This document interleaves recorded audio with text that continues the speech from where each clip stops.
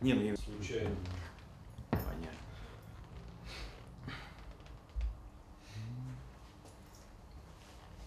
Значит, ну, в первую очередь, а, как объяснили, как дали бумаги, да, обвиняют меня в том, что я попросил внести данные за оплату штрафа, так называемого, который же сам еще и выписал, в связи с тем, что есть а, данные о том, что э, человек, на которого я выписал штраф, точнее ничего, а через многих-многих-многих людей кто-то меня попросил а, по этому поводу дать комментарий. Вот, на что я сказал, ну, можете не оплачивать штраф до тех пор, пока вам не придет никакого должного подтверждения. Штраф был оплачен, вот таким вот образом пришли к выводу о том, что это я. Я, естественно, не могу согласиться с таким обвинением, потому как, ну, все те, кто меня знают, они прекрасно знают, что я бы этого делать не стал.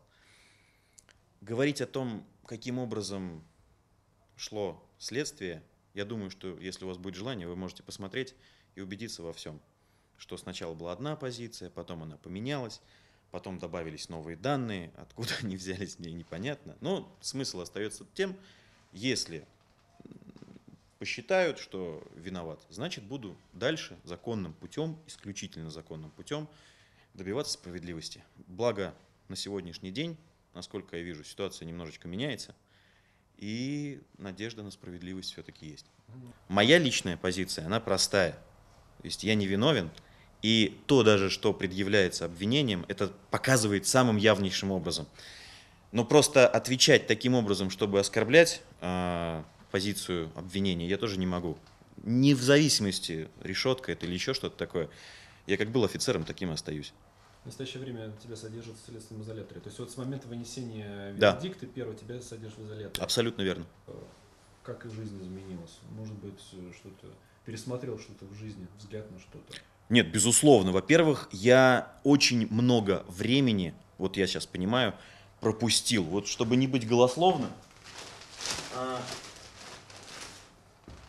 Господа, «Война и мир», Толстой, Тургенев, Достоевский, это все было, ну, когда-то давно в школе. И я очень всем надлежаще советую полностью заняться своим самообразованием. Я сейчас поднял всю, опять же таки, юридическую литературу, благо доз- дозволено ее иметь. Поднимаю и гражданское, и тоже уголовное право, и все остальное. И сейчас смотрю, как, как пелена какая-то, что ли, под- поднялась с глаз, да. Я действительно, может быть, не совсем уделял должное внимание самообразованию. Сейчас это появилась такая возможность. Поэтому не, не могу сказать, что все так прям плачевно. Тем более э, все ребята, с кем мы занимались, вот, ну, вы знаете, мы очень много проводили мероприятий, воспитательного характера, и в первую очередь патриотического воспитания. Поэтому, в общем, всем тем, кто держит за меня кулачки, ребята, вам спасибо огромное.